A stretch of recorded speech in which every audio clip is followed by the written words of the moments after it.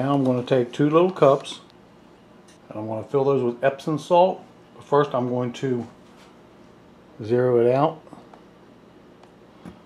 because I want 250 grams of Epsom salt. And that's two. And now it's bouncing. I might have to just put a pinch in there. Let's see.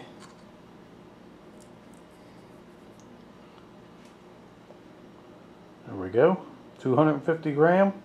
Okay, once the water reaches 150 degrees, I'll pull it off the burner and I'll put the Epsom salt in there. You have to get the water hot enough for the Epsom salt to dissolve in the water and then I'll let the water cool off and this is all you're going to need for just one battery is 250 grams of Epsom salt and 16 ounces of distilled water.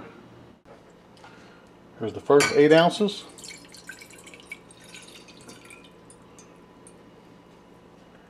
Here's the second 8 ounces. So I should have 16 ounces of water in here. And that should be a good enough to regenerate one battery.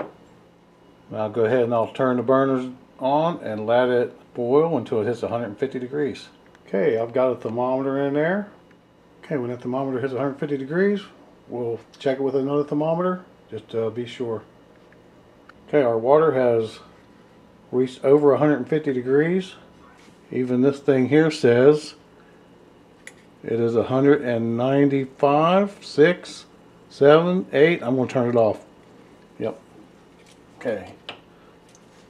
I'm to go ahead and put the Epsom salt in it and let it dissolve.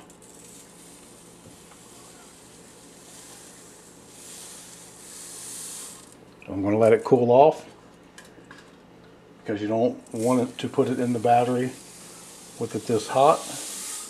You just want to make sure that all the Epsom salt dissolves.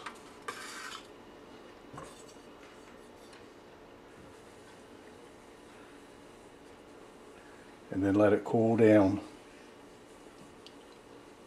And while this is dissolving and cooling down, I'll go ahead and go clean up the battery and show you how to do that before we add this uh, liquid to it. So that's it. This is how the solution is mixed together. You may need more for bigger batteries. Like, comment, subscribe, share with friends. Thanks for watching.